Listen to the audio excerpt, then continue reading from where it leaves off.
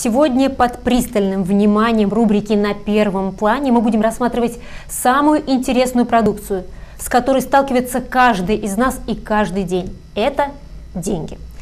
А, я приветствую в нашей студии Наталья Верба, эксперт отделения Владимир Банка России. Наталья Анатольевна, здравствуйте. Здравствуйте. Ну что ж, вы пришли с деньгами. Да. Мы пытаемся сегодня проследить историю подделки денежных знаков от самых первых времен до настоящего времени, для того, чтобы а, вооружить наших телезрителей знаниями. А, и сама готовясь к этой программе, понимаю, что действительно много информации есть, и мало кто о ней знает и даже догадывается. Итак, обо всем по порядку. А, когда появились первые подделки денег? Ну, как только появились первые монеты, тут же появились и первые подделки. То есть всегда фальшивый монетчик идет в ногу с производством угу. с подлинных денег. Поэтому как только появились первые монеты, появились их первые подделки. Но основной металл для производства монет был, конечно, золото и серебро, а поэтому подделывали, соответственно, золотые и серебряные монеты. А, ну, первые монеты, упоминания первых фальшивых монет мы слышим, а, при, слышали при раскопках а, в Англии, стоянки викингов, раскопали древнюю монету арабских государств. Э, оказалось на поверку, что она, в общем-то, не серебряная, а медная и посеребренная. То есть вот э, даже в то время в древнем мире mm-hmm. тоже подделывали монеты. Но первые монеты, а, конечно, монеты золота и серебра, их э, пытались подделывать, сбывать. Ну, какие были подделки в то время? В основном это порча монет была, то есть э, разбавляли состав металла угу. или уменьшали вес монеты. Это называлось порчей монеты. Ну, еще было, когда изготавливали из менее драгоценных металлов и придавали им подлинных вид подлинных монет. То есть покрывали, серебрили, золотили или придавали какой-то другой вид монет, чтобы а, сбыть таким образом. Угу. Наверняка уже были а, в, на вооружении фальшивого монетчиков какие-то приемы, да, подделки? Да, конечно, были приемы подделки. А, ну, я уже сказала, да, что это серебрили, угу. изготавливали, уменьшали вес монеты. Угу. И наряду с этим уже а, знали, как проверить как подлинность. проверить, конечно, угу. да, как проверить монету. То есть брали монету, а, проверяли ее как? Ну, отрезали кусочек монетки угу. ножом и смотрели на срез. То есть полноценная эта монета или нет. То есть фальшивый монетчик сразу понимал, а, так, проверяет монету, значит, он сам отрезал кусочек монетки, серебрил ее и таким образом выдавал ее за подлинную. Можно было уменьшить вес монеты, конечно, то есть разбавив это недрагоценным металлом. Можно было проверить ее на зуб. То есть все угу. хорошо знают, что золото и серебро – это мягкие металлы достаточно, и зуб оставлял на них след. Можно было бросить монетку о камень, и если издавался чистый звонкий звук, то это была подлинная монета. Если глухой, то поддельная. Вот таким образом в то время да, проверяли на подлинность монеты. А в какой период появились монеты на Руси? Ну, на Руси монеты появились в конце X века, это Киевская Русь. Э, первые монеты чеканили великие киевские князья. Это Владимир Святой, э, Ярополк Окаянный и Ярослав Мудрый. На первых монетах они называли золотниками и серебряниками, изготавливали их из золота и серебра. А, был изображен великий князь и э, герб в виде трезубца, так называемый знак Рюриковичей. Вот такие вот были монеты. На монете Владимира Святого было написано, а, а, это Угу. Давайте да, процитируем. Там было на, да, ага. Владимир на столе, да? Да. А, се его сребро. Да? да. Что угу. означало, что это э, Владимир, Владимир на престоле, а, а это, это его, деньги. деньги. Угу. Да, да, да. Вот это э, были монеты, которые чеканились в то время. Но до нашего дней дошли не так много златников, серебряников, всего 11 угу. златников и несколько сотен серебряников. Вот такие вот монеты существовали Древней Руси. Угу. Но а, они по форме еще были далеки от сегодняшних таких стандартных монет? Конечно, они были угу. далеки, потому что средства производства чеканки монет были, конечно, далеки от современных. Они имели неправильную форму, а, очень нечеткое и неясное изображение. Поэтому, конечно, фальшивым монетчикам было раздолье. И государство не следило ни за качеством чеканки, ни за качеством налично-денежного обращения в то время. А когда все-таки появилась а, единая денежная система? А, единая денежная система появилась э, гораздо позже при Иване III. Вот в этот период времени, в период правления mm-hmm. Елены Глинской, в 1534 году проводится денежная реформа, когда а, денежные знаки, а, монеты чеканятся а, единым князем, и устанавливаются строгие правила чеканки монет. То есть определяется вес монеты, размер, изображение на монете. В то время чеканились монеты а, серебряные, с изображением, часть монет чеканилась с изображением всадника на коне, а, с копьем. Поэтому эти монеты назывались копейными деньгами или копейками. Ну а самый мелкий номинал в то время был полушка. Угу. То есть 16 века копейка появляется да. в, в обиходе, да? Да. Угу. А когда а, появилось на Руси первое упоминание о фальшивомонетчиках? Ну, самое первое, есть мнение, что самое раннее упоминание относится к 1447 году, а, когда некий лечильщик и весовщик драгоценных металлов промышлял изготовлением неполноценных гривен. Угу. А, ну, как на Руси, как и в Европе в то время, за изготовление и сбыт фальшивых денег предусматривалось, конечно, а, строжайшее наказание – и э, здесь от, отметилось тоже правительство Елены Глинской, когда после достаточно жестких э, мероприятий э, все-таки немножко удалось э, как бы снизить уровень фальшивого монетничества в стране, который наносил большой экономический урон. А, а позднее, в 1649 году, уже в соборном уложении была закреплена смертная казнь за фальшивомонетничество. То есть всегда а, за подделку денег были угу. очень строгие наказания. Угу. Итак, все-таки, а, когда а, монеты стали чеканить вот не кустарным способом, а уже таким машинным, да, правильно?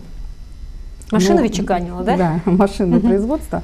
Ну, это уже гораздо позже произошло, в XVIII веке, а, в период правления Петра I. Реформы Петра I, конечно, они достаточно велики и широки, своеобразные. Угу. А, Петр I приводит э, российскую, уже российскую монетную систему а, к европейской весовой. А, впервые а, задумываются и вводится доста- художественное оформление монет. Здесь уже эм, ручная чеканка заменяется машинной, монета становится правильной круглой формы. Появляется гурт. Гурт – это боковая поверхность ребра, на нем тоже появляется изображение, и это первая защита монеты от подделок. А эта реформа дала а, стране очень удобные деньги. А, номинальный ряд был приведен к десятичной системе. Вот, поэтому, в общем-то, монеты стали очень красивыми, и одни, в общем-то, появились первые защитные признаки. Этим ознаменовалась реформа Петра I. Угу.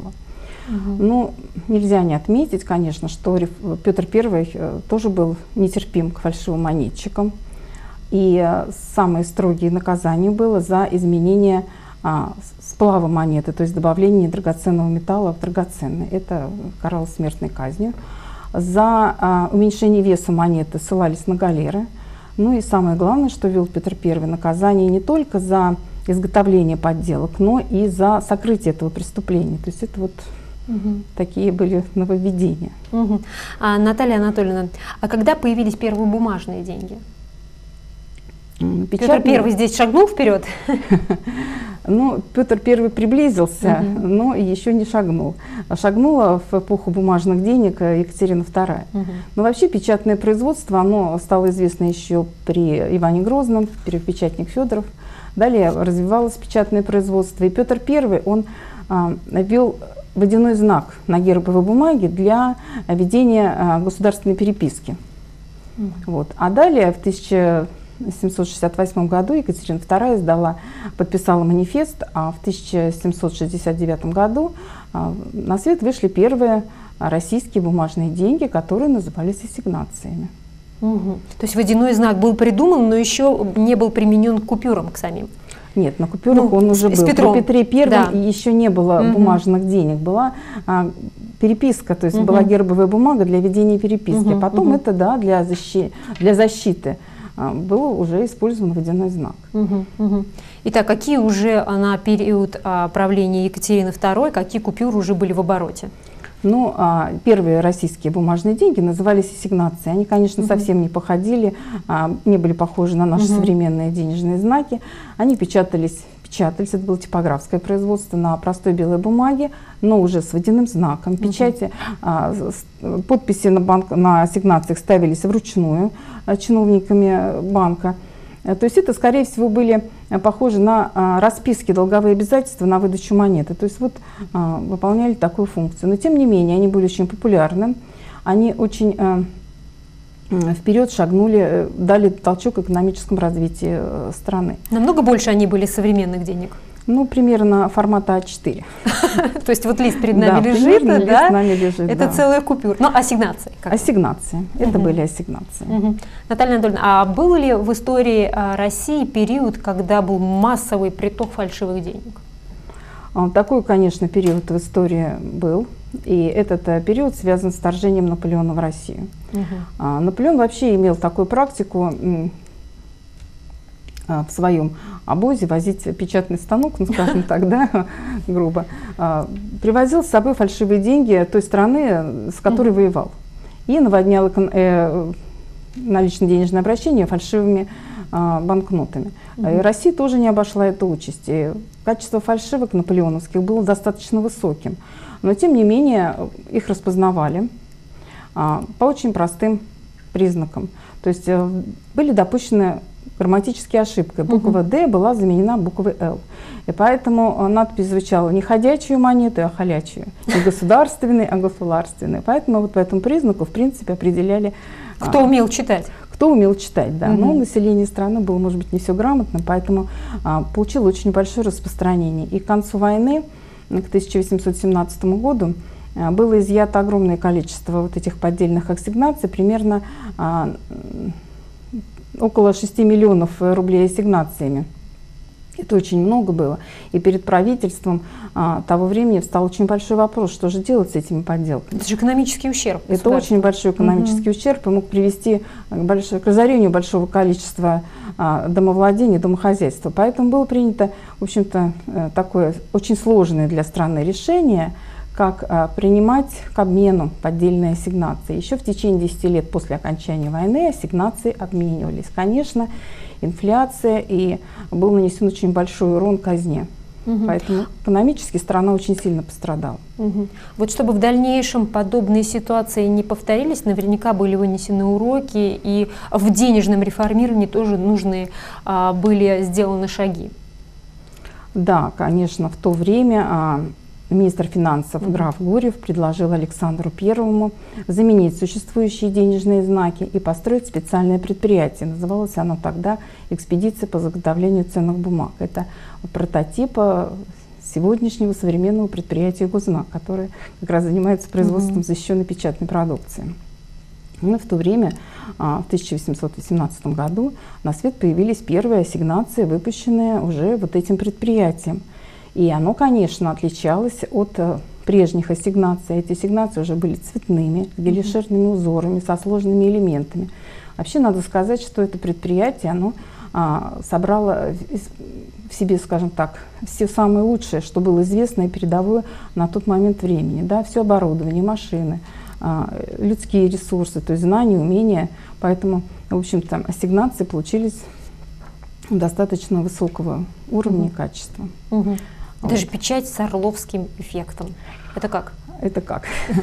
Ну, э, немного позже, в 1843 году, эти ассигнации тоже пришлось поменять ввиду того, что все-таки фальшивки появлялись. Угу. Вот. Но тем не менее, а, развивалась наука, и изобретение нашего русского ученого Бориса Якоби, а, такого эффекта, как гальванопластика, да, позволило сделать очень большой шаг вперед. То есть уже печат, э, производство банкнот, а, назывались они уже кредитные билеты, государственные кредитные билеты, они проходили с печатных форм, с идентичных печатных форм, поэтому качество было очень банкнота высоких, высокое. А, очень большая работа проводилась над водяным знаком, и к тому времени а, качество водяного знака достигло такого уровня, что при помощи водяных знаков делали изготавливали портреты и картины великих художников. То есть это очень которое не видно было на простой бумаге, но видно можно было видеть только на просвет. То есть это очень высокое качество. И оно было по достоинству оценено на международных выставках того времени. Это просто был произведен сказать, фурор mm -hmm. в этой области. Изобретение вот как раз новой печатной машины, которую сконструировал изобретатель Иван Орлов, который работал в экспедиции по изготовлению ценных бумаг. Эта новая печатная машина, конечно, позволила э, производить многокрасочные печатные изображения. И э, при описании современных банкнот сейчас мы слышим такое выражение, как печать с орловским эффектом. То есть это актуально до сих пор. Угу. Очень сильно возросло качество банкнот, их защищенность, конечно, при использовании уже металлографской печати. То есть что она сделала? Она повысила, она сделала печать рельефной. То есть при, а, скажем так, при рассматривании банкноты мы видели, а, что вот линии были нанесены не в плоскости, а в рельефе. То есть а, печать с гравюры стала вообще основой печатного производства. С тех пор, конечно, а, все очень сильно возросло качество наших банкнот. Но венцом творения фабрики «Гознак» того времени, конечно, уже в конце 19-го, в начале 20 века а, выходит в обращение банкноты с изображением Петра I и Екатерины II. Они а, выполнены очень сложными рисунками, с очень красивым сложным водяным знаком – а, оборотная сторона выполнена вот как раз с орловским эффектом а, в многокрасочном изображении. И на международной выставке того времени эти банкноты тоже произвели фурор. То есть это была лучшая защищенная печатная продукция того времени. Вот интересно, а сегодня насколько а, защищены наши банкноты современные, что они переняли от а, тех, которые вот, производили фурор на выставках в Париже? Ну, основы залож... денежного производства, заложенные в то время, они используются до сих пор. Угу. Вообще национальная валюта – это визитная карточка государства. На ней э, изображено то, чем гордится государство. В, нее, а, в ней используются самые последние достижения науки и техники. Поэтому наша валюта, российская, э, одна из самых лучших валют мира. Вот, поэтому что здесь можно сказать? Мы гордимся своей валютой и следим за, а, конечно, частотой налично-денежного обращения. Банк России следит обязательно. А, ну, банкноты, конечно, имеют свой срок службы. И а, находясь в обращении, мы их берем, а, как-то сминаем, кладем в кошельки, расплачиваемся и так далее. И, конечно, они а, получают какие-то повреждения. И банкноты низких номиналов срок, имеют срок службы где-то от полугода до полутора лет ну, это номинал от 10 до 100 рублей. А банкноты более высоких номиналов, таких как 500 рублей, 1000 рублей, имеют э, срок службы до 2 лет.